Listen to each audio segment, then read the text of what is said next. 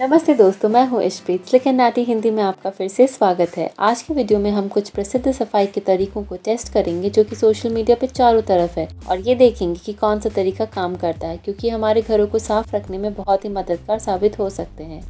पहला तरीका कहता है कि आप अपने काले पड़े चांदी के बर्तनों को, जैसे केस ग्लास को, चुटकी बजाकर साफ़ कर सकते हैं, बेकिंग सोडा और एल्यूमिनियम फॉइल की मदद से। इसके लिए आपको करीब एक लीटर पानी उबालना है। जब पानी उबल जाए तो उसमें एक टेबलस्पून बेकिंग सोडा या कुकिंग सोडा मिला लीजिए। याद रखिए, ये बेकिंग सोडा है ना कि बेकिंग पाउडर उसके बाद आप एल्युमिनियम फॉइल का छोटा टुकड़ा ले, उसे ऐसे तोड़ मोड़ लें और उबलते पानी में डाल दें।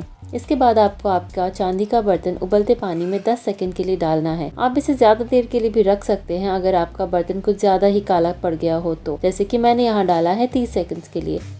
चलिए अब हम ग्लास को निकालते हैं, ये देखने के लिए कि इस तरीके ने काम किया है या नहीं। और इस तरीके ने काम किया है, जैसे कि आप दोनों हिस्सों में जिसे पानी में डाला था और जिसे नहीं डाला था, फ़र्क देख सकते हैं। और क्योंकि मेरा ग्लास अभी भी थोड़ी काली है, इसलिए मैं इसे वापस पानी में डाल रही हूँ, थोड़ी और देर के लिए।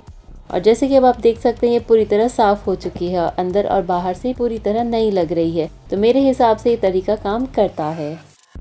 हमारा दूसरा तरीका बात करता है उन बर्तनों की सफ़ाई की जो जलने की वजह से तले से काले पड़ गए हैं। तो ये तरीका कहता है कि ऐसे जले हुए, मुश्किल से साफ़ होने वाले बर्तनों को नमक और विनेगर की मदद से आसानी से साफ़ किया जा सकता है। ये साधारण व्हाइट विनेगर है जिसे हम खाना बनाने में इस्तेमाल करते हैं।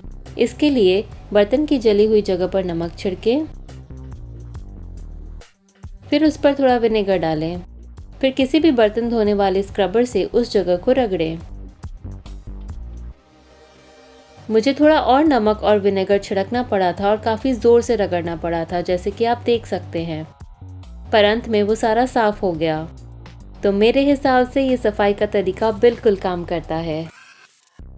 अगला तरीका बताता है कि किस तरह आप काठ की टेबल से परमानेंट मार्कर या स्केच पेन के निशान हटा सकते हैं। अगर आपके घर में बच्चे हैं तो ऐसा आपके साथ ज़रूर हुआ होगा। ये तरीका कहता है कि ऐसे परमानेंट मार्कर के निशान टेबल या किसी और काठ की चीज़ पर से नेल पेंट रिमूवर की मदद से हटाए जा सकते हैं। तो आपको थोड़ा नेल पेंट रिमूवर या फिर नेल पॉलिश रिमूवर रुई पर डालना है और फिर उस रुई से निशान को रगड़ना है।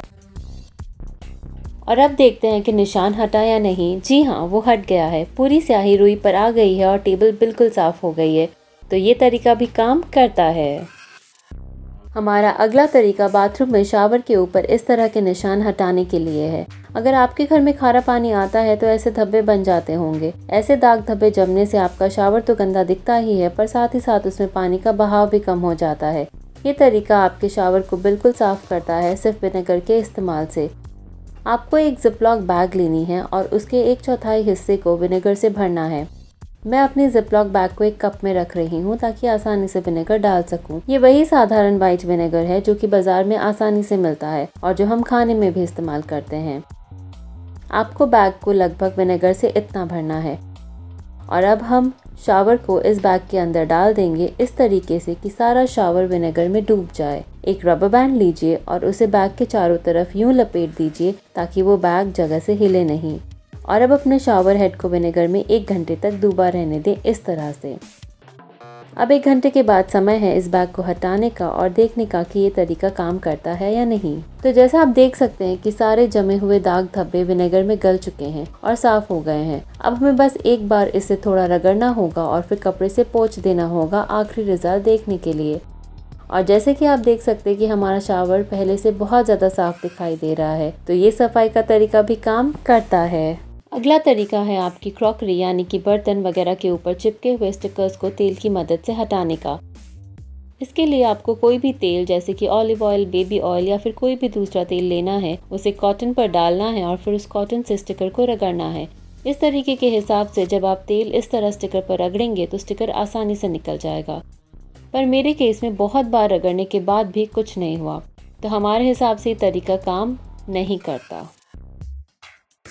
हमारा आखिरी तरीका कहता है कि दो टाइल्स के बीच की जगहों को जहाँ धूल मिट्टी जम जाती है, आसानी से साफ़ किया जा सकता है। विनेगर नींबू का रस बेकिंग सोडा और पानी का मिक्सचर बनाकर। तो एक कटोरी में मैं डाल रही हूँ बेकिंग सोडा करीब डेढ़ नींबुओं का रस, थोड़ा विनेगर और आखिर में थोड़ा पानी।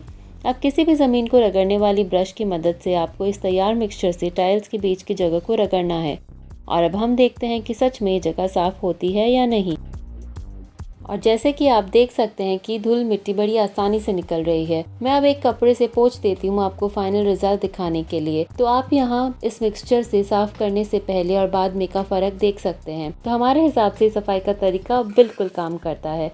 मैं आशा करती हूँ कि आपको ये वीडियो उपयोगी लगा। ऐसे और वीडियोस देखने के लिए मेरे चैनल को ज़रूर सब्सक्राइब करें और मेरे इंस्टाग्राम फेसबुक और ट्विटर अकाउंट से मुझसे ज़रूर जुड़ें। देखने के लिए बहुत बहुत धन्यवाद। जल्द ही आपसे फिर से मुलाकात होगी। बाय